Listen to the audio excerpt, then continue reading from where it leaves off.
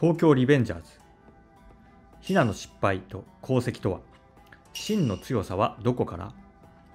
東京リベンジャーズは累計発行部数4000万部以上を誇る人気漫画。アニメ化や舞台化もされるほどの大人気作品です。今作を語る上で切っても切り離せないのが主人公竹道の彼女ひなの存在です。ひなは竹道という主人公を支えた真の強い人物。誰かを支えることができる強い人には真の強い人が多いんです。真の強さは自分らしい人生を歩む上でとても重要なポイント。今後起業したい在宅で稼ぎたい好きなことで生きていきたいと思っている方にとって真の強さはきっと役に立つことでしょう。このブログでは女性起業家のためのヒントになる歴史上の偉人や物語の主人公たちの失敗談や成功エピソードをたくさん載せています。ぜひあなたのビジネスのヒントに役立ててみてくださいね。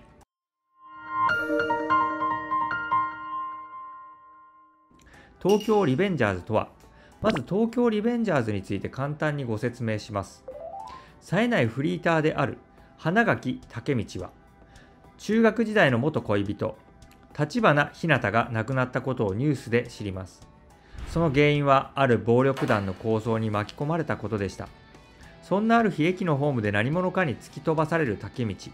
ホームから転落し電車にひかれそうになったその瞬間、なんと12年前の中学時代にタイムリープしてしまったのです。過去に戻った竹道は当時付き合っていたひなの笑顔を見て全てをやり直すことを決意。ヒナを救うためそして逃げ続けてきた自分を変えるために人生をリベンジしていく物語です。ヒナとはヒナは東京リベンジャーズの中でも数少ない女性キャラで明るく正義感の強い今作のヒロインです。ヒナと竹道の出会いは小学生の頃。ヒナが公園で猫をいじめている中学生を見つけ注意をしたことがありました。しかし返り討ちに遭い泣かされてしまうのです。そこに現れたのが竹道。喧嘩が弱いにもかかわらずヒナを助けようと中学生に立ち向かっていきボコボコにされてしまいます。そんな正義感の強い竹道にヒナは恋をしました。竹道が何度タイムリープしてでも助けたいと心に誓う今作の中心人物となる女性です。ヒナの真の強さを表すエピソード。ネタバレあり。ヒナが真の強い女性であることがわかる代表的なエピソードがあります。ある日、暴走族の総長マイキーが授業中であるにもかかわらず、竹道を遊びに誘うため学校に乗り込んできました。学校中が大騒ぎとなり、竹道が暴走族に拉致されたと勘違いしたヒナは、竹道を助けようとすぐに玄関へ向かいます。玄関でマイキーとドラケンに対峙した瞬間、なんとヒナはいきなりマイキーに平手打ちをかますのです。そしてふざけるなと怒るドラケンに向かってこう続けます。ふざけてるのはどっちですか？他校に勝手に入ってきて無理やり連れ去るのは友達のすることじゃありません。最近の竹道くん、怪我ばっかり。もしそれがあなたたちのせいなら私が許しません。暴走族の前で女性がこんなにはっきりものを言う姿は誰もがあっけを取られてしまいます。しかし実はこの時、ヒナは怖くて震えていました。相手がどんな人でも、どんなに怖くても恐れず立ち向かうヒナの姿を見て、竹道はこの人を守りたい、未来を変えたいという思いがさらに大きくなっていくのです。ヒナが残した功績、ブラックドラゴンのボス、芝大樹に竹道がボコボコにされた時もいい加減にしなよと歯向かったり、炎上する車内から竹道のことを救い出したりと、ヒナの真の強さが露呈するシーンは他にもいくつもあります。自身のまっすぐな真の強さを貫き通すことで竹道を成長させるきっかけを作ったことこそがヒナが残した功績とも言えるでしょう。ヒナを救えない状況が繰り返されたのには理由があった。ヒナは作中何度も亡くなってしまいますが実はこれ妃という人物が関係していました。小学生の頃通っていた塾が同じだったヒナと妃妃は神道と呼ばれるほどの優等生で周りを見下すような雰囲気があったため友達がいませんでした。そんな中唯一普通に接してくれたヒナに妃は恋をします。自分たちは両思いだと勘違いしていた妃でしたがヒナが好きなのは竹道だということを知り竹道への嫉妬心とその逆恨みからヒナを消してしまおうと企てるようになったんです。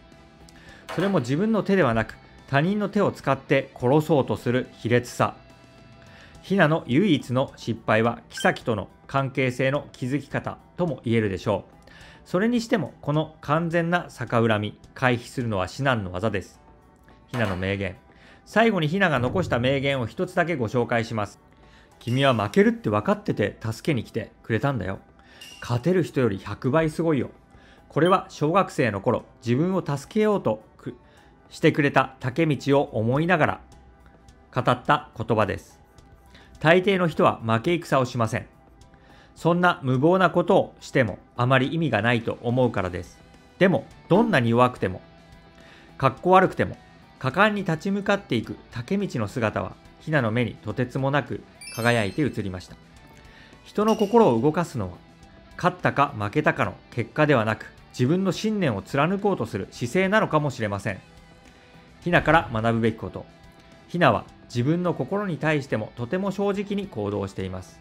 どんな状況でも好きな人のことは守るし人のダメな部分を見たら注意する。真の強さだけでなく自分の気持ちに素直になって行動できるという長所も備わっているんです。多くの人は何か恐怖心がある時行動を起こすことにためらいを感じます。怒られたらどうしよう。失敗したらどうしよう。この恐怖心に打ち勝つだけの行動力がある人が成功をつかむことができるのかもしれません何か恐怖に対峙した時乗り越えたい壁に遭遇した時はぜひこの作品のことを思い出してみてください勝ったか負けたかではなくあなたの果敢に挑んだ姿勢に今作のキャラクターたちは大きな声でエールを送ってくれると思います。ぜひビジネスについて迷いを感じた時も参考にしてみてくださいね。よかったらコメントもしていただけると嬉しいです。それではまた次回の記事をお楽しみに。ありがとうございました。